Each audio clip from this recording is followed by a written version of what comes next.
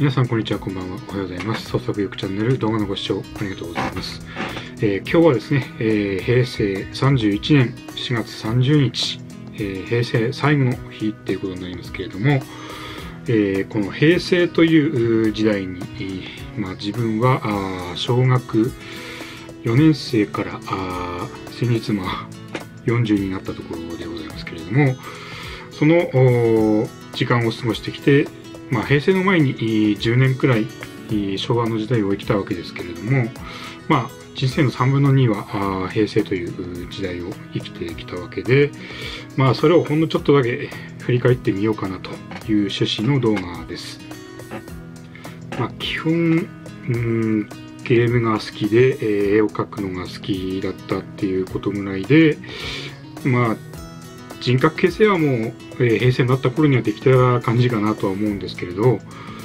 まあ当時やってたゲームっていうとうん、まあ、ファミコンだったですけどね、えーまあ、スーパーマリオブラザーズ2でしたね。まあマリオ2自体は1986年の作品なんですけど、まあ、当時、まあ、そんなにゲーム買ってもらえた感じではなかったんで、まあ、延々と、えーディスクシステムで、えーマリオ2やってたなっていうう印象があるんですけど、まあ、平成入ってからあーうちの町に、まあ、ゲームの中古屋さんができてで、まあ、そこに足しげく通って中古のファミコンソフトを、まあ、買いまくってた記憶がありますけれどもで、まあ、中学に入って、えー PC エンジンを自力で買いまして、えーで最初にやってたのがあ加トちゃんケンちゃんでしたね。えー、加トちゃんケンちゃんご機嫌テレビがあ当時人気やったわけですけれども、まあ、それのゲーム化されたやつを、まあ、5年遅れぐらいで プレイしてたわけですけれどもその後で、えー友達からあ PC エンジンデュオを借りて、えー天外魔境2ですね。まあ、人生で本気でやり込んだ RPG っていうとその天外魔境2だったかなと思うんですけど高校入って、えまあ、2年生の頃だったですかね、まあ、友達から任天堂64を借りて、えーマリオカートをお一人でやってましたけど、えー非常に寂しいプレイだったんですけど、まあ、マリオカートをなんか結構やり込んでたあー覚えがありますね。はいえー高3の秋になってようやくプレステの1を買いましてで最初に買ったのがムーンという RPG だったんですけれども、まあ、非常に不思議な雰囲気のあった RPG で今はまあ結構そのムーンってプレミアついてるみたいですね。はい、でその後に友達からバイオハザードの第1作を譲ってもらってでバイオを確かバイオ2を発売されるまでギャンギャンやり込んでた覚えがありますね。でその高校出て、えーあ出る前ですかね出る前に1998年の本当にもう2月とか3月ですからまあ卒業式までの間に、1ヶ月くらいこう時間があったわけですけれどその間にこうバイオ2が発売されて、えーでバイオ2も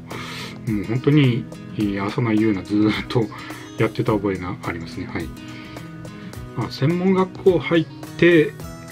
まあ今も親しくしてる友達が結構いますけど、まあ、彼らの影響かなとは思いますけど、まあ、それまでほとんどやんなかった RPG とかやるようになりましたよね。はい今まで本当にアクションとかスポーツゲームとかレースゲームとかそういったもうアクション系のゲームばっかりだったんですけどまあそこから RPG とかシミュレーションとかいう風なゲームにちょっと目覚めた時期がありましたね。はい、でまあ専門学校入ったのはまあデザイン系の専門学校だったわけですけれどまあそれに至るまで中学から高校にわたるこう時間の中でまあパソコンにも興味が出てきて、えーで、まあ、中学1年の時ですね、えーその時にまず親にあのパソコン買ってもらったわけなんですけど、まあ、最初に買ってもらったパソコンが、えー PC88 01の MC というモデルで、まあ、88の最終モデルだったんですけど、まあ、それの時点でまあ3年落ちくらいのパソコンだったわけですけれどそこから始まって8898でまあ DOSV 互換機とかになっていくわけですけれど、まあ、最初はですねパソコンで、えー、ベーシックで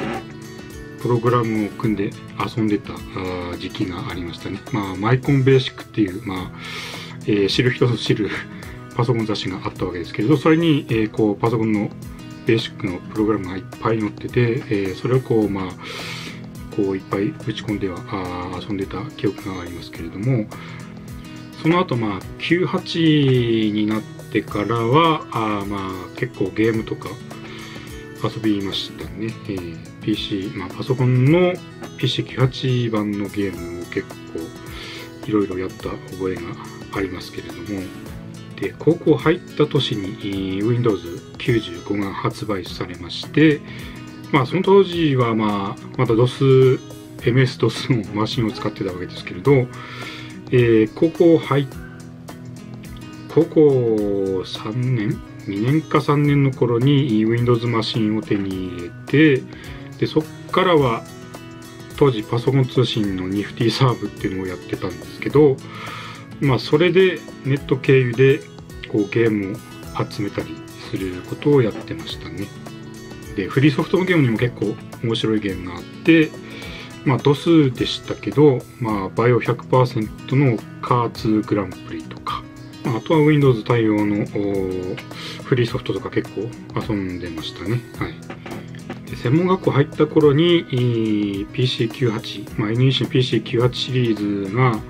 まあ、一応、えー、国産機としては終わりになってこう DOSV、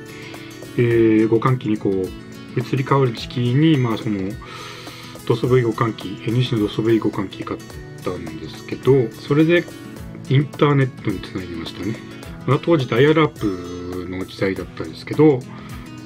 まあ、通信時間を気にしながらあのネット通信だったわけですけれど、まあ、当時はね、えー、そのデータの量によって料金が変わるわけじゃなくてやっぱり通信時間だったわけですから、まあ、うっかりちょっと長時間ネットにつないだりしちゃうと、えー、まあ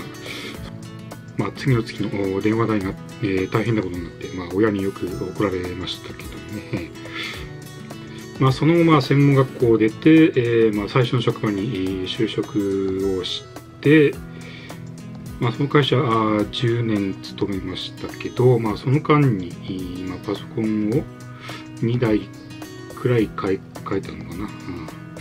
ゲームはまあその就職した年の確か初任給で、えー、確か PS2 買いましたね。はい。で PS2 を買ってで PS3 を買ったのがそっからまあ8年後くらいでしたね、まあ、PS3 買ったのはサイレンのま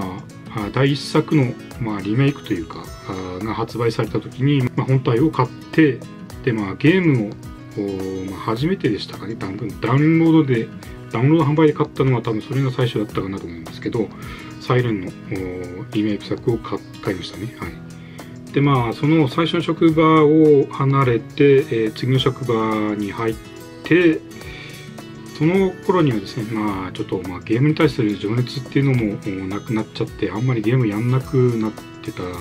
んですけど、まあ、WiiU も Nintendo Switch も買わず、まあ、プレステ4も2年前ですよね。買ったのはあのバイオ7をやるためにプレステ4を買いましてでまあ2つ目の職場を辞めまして、えー、去年、えー、一応、まあ、独立をしたわけなんですけど、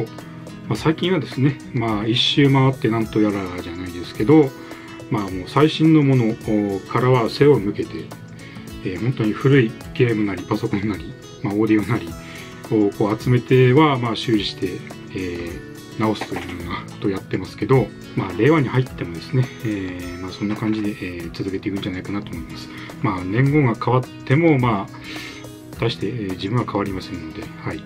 なので、まあ、令和の時代も自分はローンウルフとして、えー、一人で戦っていきたいなと思っています。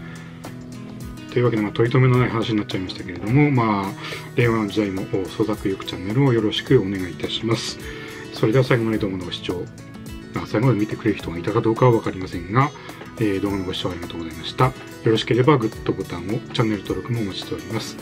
えー、関連動画再生リストからよろしければ他の動画を見ていってください。それではまた別の動画でお会いしましょう。